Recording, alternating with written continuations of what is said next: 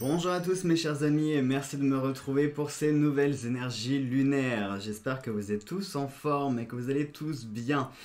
Comme vous le savez, aujourd'hui nous sommes le 17 septembre 2020 et nous sommes en nouvelle lune jusqu'au 2 octobre pour avoir la prochaine pleine lune.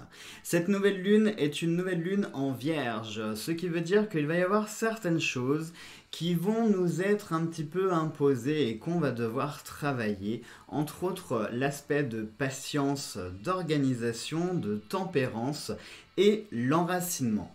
Et j'ai envie de dire, c'est logique que notre enracinement soit euh, un point important à travailler, puisque qui dit patience, organisation et tempérance dit que les 15 prochains jours promettent d'être un petit peu mouvementés, qu'il va certainement falloir planifier les choses, bien les organiser, parce que peut-être que voilà, les énergies seront en mouvement et qu'il y aura des choses à faire. Et euh, pour ne pas être trop euh, comme ça brimballé de droite à gauche, effectivement, il va falloir un petit peu s'ancrer et s'enraciner. Allez, pour découvrir un petit peu nos 15 prochains jours, je vous ai préparé le tableau fantabuleux comme d'habitude, avec l'oracle fantabuleux pour définir un petit peu les énergies principales de ces 15, 15 prochains jours, excusez-moi. Notre tableau analytique avec le carré fantabuleux, nos trois petites prédictions avec le rond de cristal. Comme d'hab, on fera la réponse fermée avec les pièces de fortune une question aussi avec le pendule. Et comme vous le voyez, je vous ai rajouté une petite nouveauté à laquelle je me suis dit, tiens, ça pourrait être sympa de le rajouter parfois aux vidéos. Il s'agit d'un K2. Un K2, c'est un appareil qui permet euh, de mesurer le champ électromagnétique et très souvent on l'utilise dans euh, tout ce qui est aspect spirit, les enquêtes euh, paranormales, les chasseurs de fantômes, etc. Et je me suis dit qu'éventuellement ça pourrait être sympa Euh, d'associer ce type d'outil pour voir si effectivement à un moment donné dans la vidéo on a un, un visiteur, un message ou quelque chose comme ça. Parce que vous êtes très nombreux à suivre très assidûment les vidéos et euh, très souvent me mettre en commentaire, regarde à telle minute, à tel moment, il y a une orbe, il y a ceci, il y a cela. Et c'est vrai que moi je ne revisionne pas forcément mes vidéos, donc je ne suis pas attentif aux, aux petites choses qui peuvent se produire. Mais c'est vrai que souvent, il y a des petites choses à relever dans les vidéos. Donc je me suis dit, ok, on va mettre des appareils de mesure, comme ça au moins on sera fixé. Si l'appareil se met à s'agiter au même moment que vous voyez quelque chose sur la vidéo, c'est que voilà, on aura peut-être une preuve de quelque chose. Allez, je perds pas de temps, on y va tout de suite avec la carte du chat. Alors c'est drôle les amis parce que pendant que je brassais les cartes, surtout avec le carré fantabuleux, donc je mélangeais les cartes et j'ai eu la carte du trèfle qui est sortie euh, avant de placer les cartes, donc ça nous parlait de chance. Et là fait exprès du coup le chat ici nous parle de chance. Il est possible que les 15 prochains jours soient placés sous le signe de la chance, des choses qui peuvent réussir, des réponses positives, peut-être des solutions qui vont se présenter à vous. Ça peut être des opportunités, ça peut être des situations qui vont se débloquer, ça peut être des choix judicieux que vous allez prendre et qui vont s'avérer être fructueux. Ça peut être un coup de chance au sens propre du terme. Hein. Peut-être que vous allez euh, jouer à des jeux de hasard, casino, des choses comme ça, et vous allez remporter des petits gains. Alors je vous dis pas forcément le loto, mais peut-être que vous allez remporter des petites choses. Ou tout simplement, ça peut être aussi des coups de chance soit au quotidien, soit dans la vie en règle générale, des choses que vous n'attendiez pas forcément et que vous pourriez obtenir. On va avoir la carte du masculin. Alors décidément, ce masculin, il est présent. Hein. Il était déjà présent dans les, les énergies de ces 15 derniers jours et je vois qu'il revient à nouveau. Donc le masculin, ça peut nous parler de plein de choses. Ça peut nous parler déjà de force physique éventuellement. Alors c'est pas un cliché, hein, euh, on va... ne me pourrissez pas de commentaires en disant ouais Jo, t'es sexiste, machin. Non, c'est euh, les énergies, euh, le féminin sacré et le masculin sacré sont par essence composés de certaines énergies. Masculin sacré est composé par essence de force physique. Bon, c'est comme ça et puis c'est tout. Hein, c'est pas moi qui le dis, c'est pas moi qui invente les codes, c'est comme ça. Mais voilà, ça pourrait nous parler ici de force physique. Il est possible que pour les 15 prochains jours, vous ayez besoin de force physique. Alors ça peut être pour plein de choses. Peut-être que, et j'ai envie de dire c'est logique puisque nous sommes euh, sur une nouvelle lune en vierge, je vous parlais hein, d'organisation de patience, tempérance. Si effectivement vous avez des choses sur les 15 prochains jours à devoir gérer, ça peut être des emménagements, des déménagements, des choses physiques, du... ça peut être par exemple... Euh, si vous procédez à un grand vide dans votre maison, vous faites du nettoyage, etc., etc. Euh, du nettoyage, ça peut être dans plein de sens, hein. c'est-à-dire vraiment au sens physique, se débarrasser de choses qu'on ne veut plus, qui ne nous conviennent plus, pour préparer un petit peu l'hiver qui arrive, hein, faire une transition entre l'été et l'hiver. Ça peut être des rangements symboliques, effectivement, où on va ranger tout ce qui appartient à l'été pour faire place à l'automne et à l'hiver aussi, hein, ça peut. Ça peut nous parler aussi de 15 jours qui vont être assez intenses, point de vue professionnel, point de vue euh, objectif, but, etc. etc. Peut-être que vous serez comme ça dans l'action. Regardez un petit peu euh, la position de cet homme. Quand je parlais d'enracinement, effectivement, on voit hein, que cet homme, il est, stable, il est, euh, il, bah, il, est massif. Hein, c'est pas pour rien que j'ai représenté cette carte comme ça. Donc on voit quelqu'un qui est vraiment massif, qui est posé, qui est ancré, qui est enraciné. On voit son regard qui est également déterminé. Hein, il est tourné très clairement vers l'avenir. Il regarde, vous voyez, l'autre carte. Donc on va découvrir. Donc ici ça nous parle d'objectifs, de but et de rester concentré et fixé sur une seule chose. Ça pourrait aussi nous parler ici d'un lien avec un homme. J'ai envie de dire que c'est logique là encore puisque cet homme, enfin cette même énergie masculine était encore présente ces 15 derniers jours. Donc il est possible qu'il y ait encore cet homme qui soit présent pour les 15 prochains jours. Hein. Ça peut être, je sais pas moi, votre patron qui est particulièrement présent pour vous aider. Euh, ça peut être euh, votre papa, votre grand-père, un frère, un cousin, un ami, un voisin. N'importe qui, ça peut être vous-même, peut-être qui allez faire appel à votre euh, masculin sacré, hein, parce que sachez-le, qu'on soit homme ou femme, on a tous en nous les deux. Euh, en part, euh, j'ai pas envie de dire égale, mais euh, on a tous une sensibilité et une intuition qui est plutôt associée à l'énergie féminine. On a tous une certaine force physique qui est associée à l'énergie masculine. Donc peut-être que pour les 15 prochains jours, vous allez devoir encore endosser un rôle de masculin sacré ou faire appel à votre énergie de masculin sacré pour peut-être résister à certains assauts ou comment on pourrait dire, vous armer avec certains outils qui pourront vous aider à... Euh, comment je pourrais vous dire ça euh, parer, oui, à faire, à être dans l'action, vous voyez, euh, euh, vraiment, oui, votre force physique, tout simplement. Et on va regarder avec la troisième. Ah, nous avons la carte de l'esprit. Alors ça, c'est très intéressant. C'est assez rare dans les tirages hein, d'avoir... Euh, j'ai remarqué, on, a des cartes qui sortent assez rarement. Et là, on a la carte de l'esprit. Attention, l'esprit, l'esprit, le fantôme. Donc il est possible que dans ces 15 prochains jours, vous ayez soit affaire à des choses qui sont liées au paranormal, peut-être, euh, ça peut être des signes que peut-être vous allez recevoir. Pourquoi pas ici, ça pourrait nous parler d'un homme défunt. Peut-être aussi, hein. euh, il ne faut écarter aucune piste. Donc ça peut nous parler d'un homme défunt, peut-être qui va euh, communiquer avec vous, vous envoyer un message. Ça peut nous parler ici d'un lien avec le paranormal, peut-être que dans ces 15 prochains jours, vous allez vivre quelque chose qui va vous sembler extraordinaire. En plus, ici, on parlait de chance. Donc peut-être que ici il y a quelque chose de symbolique à voir, c'est-à-dire euh, peut-être que vous allez vivre quelque chose qui est extraordinaire, quelque chose euh, à laquelle vous, vous, vous ne croyez presque plus. Voyez, c'est-à-dire que les fantômes c'est quelque chose, soit on y croit, soit on n'y croit pas. Hein. Il n'y a pas de demi-mesure, il n'y a pas, alors oui, moi j'y crois, mais non, c'est où on y croit ou on n'y croit pas. Et euh, quand on est face à des situations qui semblent un peu désespérées, où les solutions ne se présentent plus, ne se manifestent plus, et qu'on a du mal à voir un petit peu ce qui, euh, voilà, ce qui, se projette pour nous, on est comme ça, un peu dans bah, j'y crois, mais j'y crois plus vraiment, euh, j'attends que ça se manifeste. Donc peut-être ici que pour les 15 prochains jours, vous allez avoir une manifestation qui va vous permettre de relancer votre foi. Ça peut être, comme je l'ai dit, par exemple, une réponse que vous attendez. Imaginons, c'est peut-être un homme ici qui va fournir une réponse, une réponse que vous attendiez, que vous allez percevoir comme un coup de chance, quelque chose qui est un peu inattendu, et qui va relancer votre espoir et, euh, votre foi. Je vais vous prendre un exemple très concret. Imaginons que vous avez postulé à un entretien d'embauche il y a de ça 6 mois. Euh, depuis, vous n'avez plus aucune nouvelle, donc vous êtes un petit peu euh, désespéré, enfin voilà, vous n'y croyez plus du tout.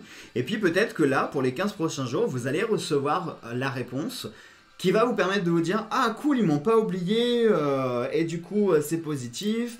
Euh, ça va réalimenter votre espoir et votre conviction de travailler dans cet endroit. Vous voyez voilà ça peut être quelque chose comme ça quelque chose qui appartient au passé qui est un petit peu oublié à laquelle vous ne croyez plus forcément et qui va revenir. Ça pourrait nous parler aussi du passé hein. il est possible que pour les 15 prochains jours il y ait une forme de passé qui revienne. Ça peut être un homme un homme qui est rattaché à votre passé qui va peut-être revenir hein, dans le présent. C'est possible aussi. On va découvrir ça avec le tableau. Ça sera plus simple. Alors, nous avons la fleur, nous avons l'esprit, mais l'esprit, le mental cette fois-ci. Nous avons la boucle. Nous avons la réponse non. Alors, si jamais vous aviez besoin d'une réponse, ici, voyez, on a un nom qui vient de se présenter. Nous avons le cœur, l'onde de vie. Ah, bah tiens, moi qui vous parlais des casinos et euh, des, jeux à gratter, je croyais pas si bien dire. Alors, bien, on a des choses qui sont intéressantes. Donc, tout d'abord, comme je l'ai dit, ah, je suis désolé, ça vous fait un reflet de la lumière. Si je vous mets la feuille comme ça, est-ce que vous voyez mieux? je suis désolé, j'ai euh, la lumière qui, reflète. Hein, donc, euh, voilà. Euh, ici, je vais vous montrer la carte. Voilà, on va avoir la fleur qui est au centre. Au milieu, on va avoir la carte de l'esprit. Et puis les autres, c'est bon, vous les voyez bien. Alors, tout d'abord, on va commencer par cette colonne où on va avoir le dé, donc qui nous parle de hasard, de jeu. On a la corne d'abondance qui va nous parler ici de peut-être la providence qui arrive, une forme de chance, les récoltes. Vous allez récolter des choses. Alors, euh, tout à l'heure, je parlais de jeu à gratter. C'est marrant parce que ça peut effectivement être lié. Peut-être que pour les 15 prochains jours, vous allez avoir l'envie ou la spontanéité de jouer un jeu, du truc que vous faites pas forcément d'habitude d'habitude, excusez-moi. Ça peut être un casino, ça peut être une partie de poker, euh, ça peut être euh, des jeux. Et puis vous pourriez être récompensé ou avoir un gain qui va rentrer. Alors ne vous attendez pas non plus à gagner des millions, mais c'est possible. Hein, pour vous dire que la chance est là. En plus, on a la chance qui est au-dessus justement de la colonne. Donc c'est fort possible. Après, ça peut nous parler également de choses que vous allez récolter. Et c'est encore une fois logique puisque le 21 septembre, hein, je vous le rappelle, enfin à partir du 21 septembre, nous avons l'équinoxe d'automne, qui est donc le sabbat de Mabon et qui correspond aux dernières vendanges. Donc on va vraiment célébrer ici les dernières vendanges, les vendanges tardives, toutes les, fruits, les légumes de saison, les choses qu'on peut récolter. Et on va vraiment préparer et marquer la fin de l'été pour accueillir l'automne. Donc il est possible que là dans les 15 prochains jours, vous récoltiez les fruits de votre labeur, les choses que vous avez plantées, vous allez les récolter. Donc ça peut être, je sais pas moi, si vous avez beaucoup travaillé, eh bien vous serez récompensé de ce travail. Euh, si vous avez mérité quelque chose et que vous avez vraiment fait tout pour euh, accéder à ce que vous vouliez, vous allez l'obtenir. Il y a cette forme ici de récompense et d'être... Euh, je suis désolé, c'est redondant. Vraiment le fait d'être récompensé pour le travail que vous avez fourni. Attention, je dis bien du travail que vous avez fourni. C'est-à-dire que euh, pour les personnes qui sont là, un peu comme euh, vous connaissez tous la fable de euh, la cigale et la fourmi, si vous avez été une petite fourmi qui a travaillé dur et qui a tout fait pour voilà, préparer les coups durs, pas de souci. Par contre, si vous êtes comme la cigale, que vous avez passé votre temps à chanter, à flâner, etc., etc., eh bien, ça risque d'être un petit peu plus difficile. Voilà. La flèche ici nous parle d'une direction à suivre. Et regardez un petit peu, la flèche pointe la direction de la fleur et la direction ici de l'onde de vie. Donc ça pourrait nous parler ici d'une romance qui n'est pas terminée, quelque chose qui va être relancé. Donc là je pense que ça s'attribue plus euh, peut-être pour les personnes qui sont célibataires ou éventuellement ceux qui sont en couple mais... Euh, il y a quelque chose d'un petit peu compliqué, hein, puisqu'on vous demande ici de prendre une décision, de faire un choix, euh, d'arrêter de... J'ai un sentiment de girouette, comme si vous aviez du mal à vous stabiliser, comme si voilà, les dernières énergies de, ces jours vous étiez un peu comme ça, voilà, au nord, à l'est, à l'ouest, hein, comme un papillon qui va de fleur en fleur. Et là, on va vous demander, pour les, énergies qui arrivent, de prendre une décision, de prendre un choix telle une flèche, tel un objectif, un but, vous allez devoir vous, euh, vous faire violence. Alors, je pense à des œillères, voyez, pour éviter d'être tenté, peut-être vous, vous, faire violence en vous mettant des œillères et faire en sorte de garder un chemin et de rester sur ce chemin-là. Si vous voulez que les choses puissent progresser, si vous voulez que les choses puissent s'améliorer, vous allez devoir vous investir en prenant un chemin et rester sur ce chemin-là. Arrêtez de vouloir aller de partout et nulle part à la fois. Concentrez-vous sur une seule chose, sur un seul objectif si vous voulez que les choses puissent continuer et puissent fonctionner. Ici, la colonne, alors vous avez un nom. Certes, on a un nom, mais pour moi ici c'est un nom qui n'est pas forcément négatif dans le sens où non mais trois petits points. Vous voyez, c'est pas juste le non. Pour moi, je le perçois plutôt comme un non mais trois petits points. C'est-à-dire que si vous aviez quelque chose en tête, une question, un sujet particulier, une problématique, quelque chose qui vous fait faire du souci, la réponse est non. Mais pour moi, c'est pas terminé. Il y a quelque chose qui n'est pas fini ici. Ne renoncez pas. Il y a. Euh, alors, je sais pas pourquoi, je pense. Je, vous le livre tel quel. Je sais pas, je pense pas que ça parlera à tout le monde. Mais j'ai l'impression peut-être que certains d'entre vous ont une personne en tête ou quelque chose qui leur tient à cœur particulièrement. Pas forcément lié à l'amour, d'accord? Ça peut être, euh, je sais pas moi, une passion, une situation, un métier, n'importe quoi, quelque chose qui vous tient à cœur particulièrement. Et pour le moment, on vous dit non. Non, soit c'est pas le bon moment, soit les choses ne peuvent pas se faire pour l'instant, parce que soit il vous manque, euh, il vous manque des outils pour régler cette problématique, pour avancer dans la situation. Non, parce que euh, vous n'êtes pas responsable dans la situation ou alors ça ne dépend pas de vous, par conséquent vous n'avez pas de pouvoir d'interaction sur ce sujet-là. Mais pour moi j'ai le sentiment de ne renoncer pas. Les choses vont évoluer, les choses vont se faire, mais pas pour le moment. C'est peut-être pas le bon moment pour l'instant. Hein. En plus, ici, quand on regarde la ligne, on a une espèce de schéma qui se répète. Hein. On a une espèce de... Comme s'il y avait une problématique qui revenait de façon régulière. Vous voyez, quand je vous parlais du passé qui pouvait revenir, c'est possible, hein, c'est vraiment possible il est même fort probable que pour ces 15 prochains jours, vous ayez quelque chose en lien avec le passé qui se représente dans votre présent. Ça peut être une personne peut-être qui va ressurgir du passé, ça peut être une situation euh, similaire, quelque chose que vous aviez connu dans le passé qui va se représenter à vous. Donc peut-être que euh, si cette situation se représente, c'est pour vous inviter à ne pas euh, refaire les mêmes erreurs, à refaire les mêmes choix, et pour un peu comme si la vie allait vous offrir une nouvelle chance de pouvoir soit vous racheter ou soit de pouvoir décider ou faire évoluer les choses de façon différemment. Hein. C'est vraiment le sentiment que j'ai. Si vous avez quelque chose comme ça qui se représente dans ces 15 jours à venir, ne refaites pas les mêmes erreurs, ne refaites pas les mêmes choix et ne retombez pas dans le même genre de cycle, hein, dans les mêmes choses que, euh, voilà, que vous aviez pu connaître. Euh, ne, refaites pas les mêmes choses. Voilà, voilà ce que j'ai. Euh, ensuite, oui, je vous parlais de tout ce qui était relations, etc. Je parlais, je vous disais que ça pouvait concerner plus peut-être les célibataires. Oui et non, ça peut aussi concerner les couples. Puisque ici pour moi il y a un sentiment aussi de pardon. La fleur ici ça peut être le cadeau, ça peut être des excuses, donc il est possible que vous receviez des excuses durant ces 15 prochains jours, ou alors ça va être vous qui allez formuler des excuses. Euh, il y a un sentiment de se rabibocher, des choses qui vont s'arranger. Oui.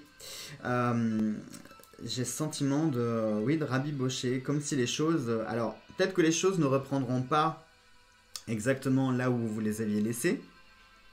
Mais vous allez vous réconcilier. Et pour moi ici, il y a des réconciliations à venir pour ces 15 prochains jours. Ça peut être lié peut-être avec cette personne ou cette situation du passé qui va revenir. C'est possible. Hein. Peut-être que vous allez euh, avoir quelqu'un qui appartient à votre passé. Ça peut être, je sais pas, un membre de famille, un, ancien ami, un ex ou n'importe qui. Et puis entre-temps, chacun a évolué, chacun a acquis un peu de sagesse. Et puis peut-être que euh, vous allez enfin pouvoir pardonner, ou vous excuser si c'est vous qui êtes l'auteur de blessures. Euh, et puis il va y avoir, voilà, peut-être que c'est l'occasion de pouvoir enfin terminer, de pouvoir cicatriser une blessure peut-être. Hein, ça peut être ça. Euh, je vous parlais, oui, donc de réconciliation aussi. Et quelque part, il y a une forme d'unification avec la boucle. La boucle, l'esprit, la flèche qui nous parle d'une décision. Donc peut-être que ça pourrait nous parler aussi d'une forme d'unification. Peut-être qu'il va y avoir des choix qui vont se prendre et euh, Ça me fait penser, je vais vous dire clairement ce que je suis en train de voir, parce que vous avez l'impression que je tourne autour, du pot. Oui, mais je vous rassure, c'est fondé. Moi-même aussi, j'ai l'impression de tourner autour du pot. En fait, ce que je vois, je vois deux personnes qui se retrouvent. Je vois une personne qui marchait sur un chemin, et je vois en fait une croisée de chemin, et une autre personne qui arrive à cette croisée de chemin, et ils se retrouvent tous les deux sur le même chemin et vont prendre la décision de marcher ensemble vers un nouveau cap, vers une nouvelle destination. C'est pour ça que je parle d'unification parce que j'ai sentiment très fort de réconciliation. Euh, quand je vous disais rabibocher, hein, ça peut être ça. Mais j'ai sentiment aussi où euh, voilà, on avance désormais ensemble alors pas forcément main dans la main, mais avec la même pensée, la même façon de voir les choses, dans la même direction. On va se mettre d'accord, peut-être, ça peut être ça aussi, hein. euh, une forme de diplomatie, le fait de se mettre d'accord, peut-être des échanges qui vont, euh, se mettre en place, hein, c'est possible. Puisque, euh, rappelez-vous la carte du fantôme, on est sur un aspect un petit peu extraordinaire, des choses auxquelles on ne croyait pas forcément, qu'on ne croyait plus, et pourtant qui étaient toujours là. Hein. on nous parle ici de manifestation de chance. Donc vraiment, peut-être pour les 15 prochains jours, attendez-vous à des choses quand même qui sont un peu extraordinaires. Hein. Allez, on va voir pour nos prédictions. Nous avons une tromperie. Bon, eh ben, ça commence très bien. Tromperie, ça peut être plein de choses. Hein. Ça peut être euh, mensonge, euh, ça peut être le fait d'être dupé, euh, ça peut nous parler d'illusions, de, chimères, de fausses promesses ou de promesses qui n'ont pas été tenues. C'est pas obligatoirement la tromperie comme tout le monde le pense. Hein. Vous voyez, la tromperie pure et dure, la tromperie charnelle quand on est en couple, non. Tromperie, c'est plein de choses. Nous avons une évolution en perspective. Ah, ah, vous voyez, on a quelque chose qui est logique ici, une évolution. Donc on nous parle, ça ne parle pas de changement, ça parle de choses qui évoluent. C'est-à-dire qu'une évolution, très souvent, on prend ce qui est déjà existant et on fait ce qu'on peut avec pour le faire évoluer. Vous voyez Qu'un changement, c'est, euh, ça peut être un reboot dans le sens où euh, on balance directement ce qu'on a pour faire euh, quelque chose de neuf. Non, là on nous parle d'une évolution. Donc ça serait faire quelque part du neuf avec de l'ancien. Et nous avons une personne bienveillante. Ah, donc ça peut être, peut-être, ce fameux homme qui se représente de nouveau. Peut-être que c'est le même homme qui était sorti dans les énergies de ces 15 derniers jours, peut-être. Ça peut être quelqu'un d'autre, comme ce n'est pas forcément un homme, ça peut être aussi une femme, ok? Puisque je vous le dis souvent, dans le fantabuleux, le masculin et le féminin ne représentent pas forcément des cartes consultants, mais représentent plutôt des énergies. Hein. Donc euh, c'est pas forcément un homme, ça peut être autre chose. Mais ici, il y a l'assistance d'une personne. Vous voyez quand je vous disais euh, que les choses n'étaient pas terminées, un espoir qui va être relancé, une réponse qui va être apportée, ça peut venir de cette personne-là. Hein. Peut-être une personne bienveillante, ça peut peut-être être elle qui va vous apporter la réponse que vous attendiez, une aide, un soutien. Euh, ça peut prendre plein de formes, vraiment plein de formes. Allez, ce que je propose, c'est qu'on passe euh, aux pièces de fortune. Donc, je vous invite à poser une question, soit dans votre tête ou à haute voix, c'est comme vous voulez. Hop, et on y va. Alors, pour la première, nous avons un nom. Pour la deuxième, nous avons un nom. Et pour la troisième, nous avons un nom aussi. Bon, les amis, c'est logique. C'est logique. Pourquoi? Parce que on a eu le nom qui est sorti ici.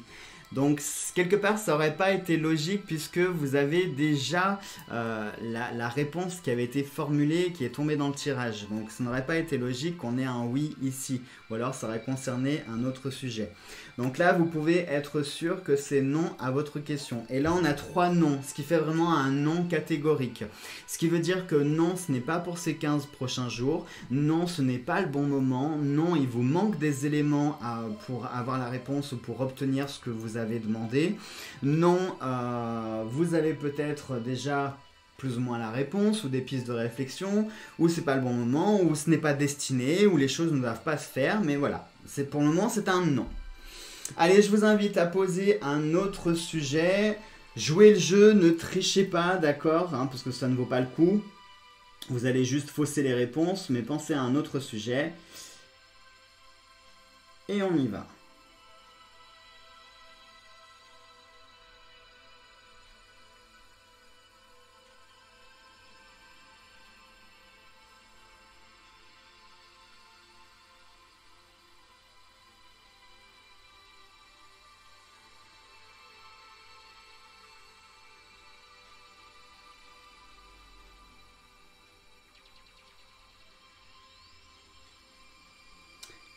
La réponse à cette question est indifférent.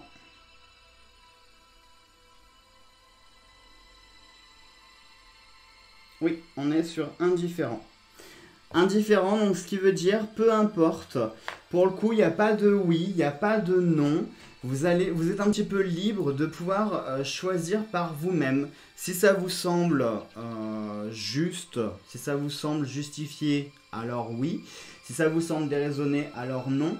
Mais euh, voilà, la réponse est indifférente. Donc c'est vraiment à vous qu'appartient appartient la décision de soit le faire ou de ne pas le faire. Il n'y a pas... Euh, on pourrait presque dire quelque part, il n'y aura pas de conséquences. Enfin, si, il y aura des conséquences, mais je veux dire que ce soit oui que vous le fassiez ou que non vous ne le fassiez pas, les conséquences seront plus ou moins similaires. Donc quelque part, voilà, c'est un peu indifférent par rapport à votre, euh, par rapport à votre question. Voilà donc les amis pour ces énergies de ces 15 prochains jours et maintenant je vous propose de passer à l'astro-chance de la semaine. A tout de suite Allez, notre astro-chance, je vous ai dit de la semaine, pas du tout, pour les 15 prochains jours. je rappelle rapidement pour les nouveaux de la chaîne, euh, l'astro-chance, on va utiliser l'art de la kibomancie. Vous savez maintenant ce que c'est, j'ai fait des vidéos qui traitent du sujet. Et je vais utiliser également les différents signes astrologiques. L'astro-chance n'a pas du tout pour but de définir si oui ou non euh, vous devez sortir de chez vous parce que sinon vous allez prendre une météorite sur le coin de la tronche, etc. etc. Non, c'est juste pour vous dire si selon votre signe, la chance est plutôt favorable pour vous accompagner dans vos démarches et dans euh, euh, vos, différentes actions, différentes envies que vous avez, etc., etc.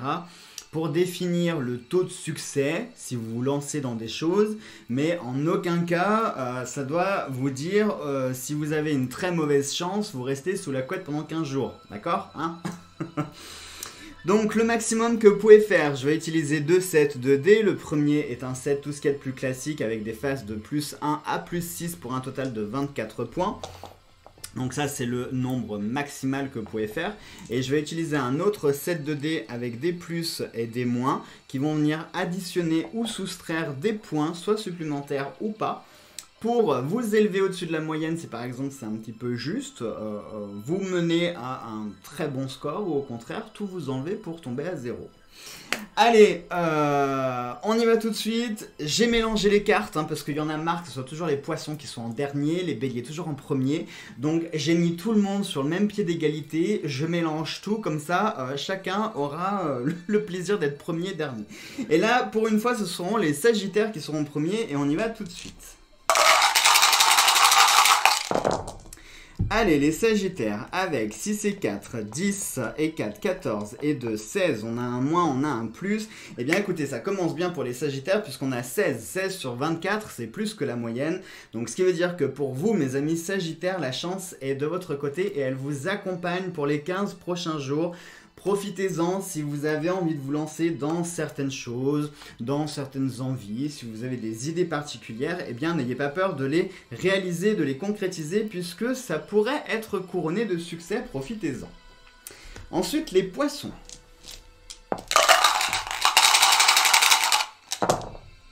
Les poissons, 6 et 4, 10 et 5, 15 et 2, 17. 17, il y a 2 moins. Ah ça fait 15 et un plus, ça fait 16. Bon, les poissons, même punition que les sagittaires, vous avez également la même note, ce qui veut dire que la chance est aussi de votre côté. Profitez-en si vous avez envie de faire des choses, si vous avez envie de découvrir un petit peu d'autres eaux, d'autres océans, d'autres récifs, d'autres coraux, eh bien allez-y, explorez, vous pourriez faire de belles découvertes et avoir de belles surprises. Les vierges. Les vierges avec 6 euh, et 4, 10 et 4, 14 euh, et 3, 17. 1 moins 1 plus, ça reste à 17. Eh bien bravo les vierges, un point de plus que les deux signes précédents. Donc, même conseil, la chance est aussi de votre côté. Ça commence bien, moi je trouve. Hein. On avait euh, la présence du chat tout à l'heure dans le tirage. Comme je l'ai dit au moment de brasser le carré, j'ai eu le trèfle qui est sorti. Donc, la chance pourrait être présente pour tout le monde, donc profitez-en. Et les vierges, avec cette jolie chance, eh bien, même conseil, profitez-en, expérimentez, allez-y, essayez, lancez-vous, faites le premier pas, euh, faites-le, tout simplement, faites-le, n'ayez pas peur, puisque vous pourriez avoir une belle surprise et ça pourrait être un vrai succès. Les béliers. Les béliers, 6 et 4, 10 et 15, euh, et 15. et 5, 15 et 2, 17 et on a 2 moins. Ah, ça fait 15, ça va, c'est une jolie chance aussi les béliers. 16, 17, on, tourne tous euh, dans, les, euh, dans, les mêmes, dans les mêmes niveaux. Donc bélier, pareil, la chance est présente pour vous pour ces 15 prochains jours. Profitez-en, allez-y, faites-le, lancez-vous. Je sais pas pourquoi, je sens que je vais dire la même chose pour tous les signes. Les versos. Verso, bah verso, bah même pareil, hein, verso 6 et 4, 10 et 5, 15. On a 2 moins, bon 2 moins ça fait que 13 et on a un plus ça fait 14.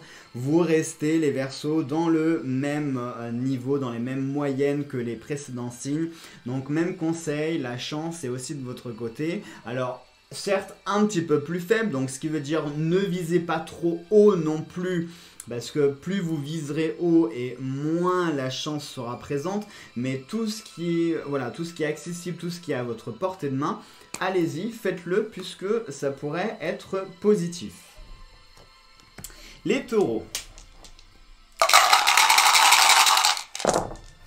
Les taureaux, on a 5 et 5, 10 et 6, 16 et 1, 17 et 1 moins, on est à 16. Taureau, même conseil pour les Sagittaires Poissons, vous avez la même chance, donc profitez-en les taureaux. Vous pouvez plus ou moins foncer tête baissée, il y aura normalement un coussin pour amortir votre tête. Donc allez-y, hein, euh, si, vous avez, si vous avez des envies particulières, des projets, pareil, hein, lancez-vous, euh, c'est le moment. Je crois véritablement que la chance est présente pour ces 15, pour ces 15 prochains jours. On est, ça sent qu'on est sur les énergies de ma bonne, donc profitez-en. Les lions les lions, bah, bah, ça m'a l'air pas mal ça aussi. Les lions, 6 et 4, 10 et 2, 12 et 1, 13. 13, aïe, on a 2 moins. On a 2 moins, ce qui nous fait 11, mais on a un plus, ça fait 12. Bon, les lions pile poil sur la moyenne, hein, 12 sur 24, vous êtes pile poil sur la moyenne, ce qui veut dire que les lions, c'est un petit peu qui tout double.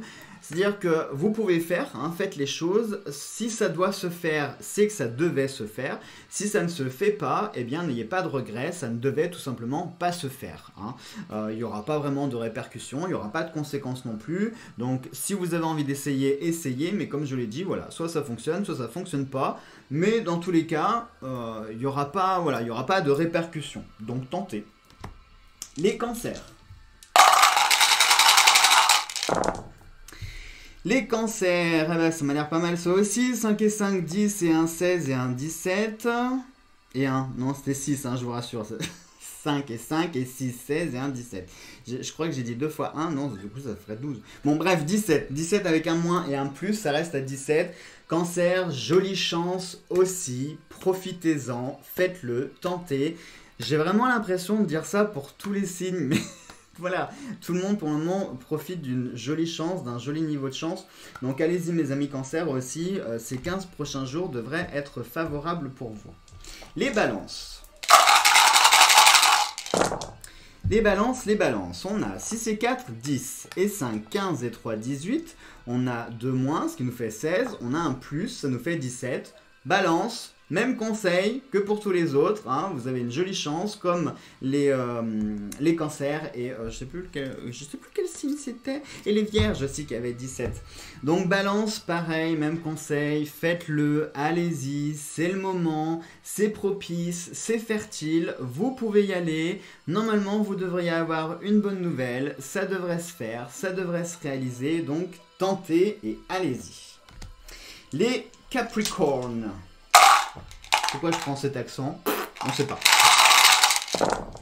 Alors, les Capricornes, on va avoir... Ah, Capricorne, ça m'a l'air d'être un petit peu maigriot. 4 et 2, 6 et 2, 8 et 1, 9. 9, on a un moins, ça fait 8. Et on a 2 plus, ça fait 10. Aïe Capricorne, premier signe euh, où euh, vous êtes en dessous de la moyenne. Capricorne, on est plutôt timide pour les 15 prochains jours. Faites attention aux choix que vous pourriez faire. Prenez les bonnes décisions. Réfléchissez bien avant d'agir et avant de vous lancer dans des choses parce que tout ne pourrait pas se bien passer. Je crois que c'était pas du tout français ce que je viens de dire. Tout ne pourrait pas bien se passer. Voilà, hein, on va remettre les choses dans l'ordre. Donc vraiment prenez votre temps avant d'agir, euh, prenez votre temps pour réfléchir avant de vous lancer corps perdu dans ce qui vous fait envie. Les Gémeaux. Les Gémeaux, eh bien 5 et 5, 10 et 5, 15 et 6, 21, bravo, 21, moins 2, ça fait 19 et un plus, ça fait 20. Eh bien les Gémeaux, c'est vous qui êtes en tête pour le moment avec une très jolie chance puisque 20 sur 24, c'est très beau. Donc pour le coup, les Gémeaux, j'ai envie de vous dire, allez-y, foncez. Voilà, c'est le seul conseil que j'ai à vous dire. Avec une telle chance, normalement, toutes les portes devraient s'ouvrir devant vous. Donc ne vous refusez rien. Tentez quasiment tout. J'allais dire, ne tentez pas non plus de braquer une banque, hein, parce que voilà. faites attention quand même, ne prenez pas tout au pied de la lettre ce que je vous dis quoi. Hein. Mais euh, voilà, j'ai envie de dire, allez-y s'il y a des choses qui vous font envie, allez-y, normalement la chance est de votre côté. Et enfin, les scorpions. Les scorpions 6 et 4, 10 et 5, 15 et 2, 17, 17 et, et 3. Et 3, les scorpions, et eh bien du coup ça vous fait la même chance, ça vous fait 20 points aussi sur 24. C'est très joli, donc allez-y aussi les scorpions, c'est euh, votre, euh, votre moment, hein. les 15 prochains jours sont vraiment pour vous. Donc allez-y, faites-le, foncez aussi, les portes devraient s'ouvrir devant vous. Bon, les amis, là, j'ai envie de vous dire, hormis les Capricornes pour qui la chance n'est pas top, alors c'est pas non plus catastrophique, hein, 10, euh, c'est presque la moyenne. Mais pour le coup, on est vraiment tous, on baigne tous dans la chance, donc profitez-en, les amis faites ce, que vous avez envie. Euh, allez-y, tentez, expérimentez, c'est vraiment le bon moment. Voilà donc mes chers amis pour ces énergies de euh, cette lune en vierge. J'espère que cela vous a plu. Je vous embrasse tous très fort. Prenez bien soin de vous. Et nous on se retrouve donc le 2 octobre pour notre prochaine pleine lune. Gros bisous à tous.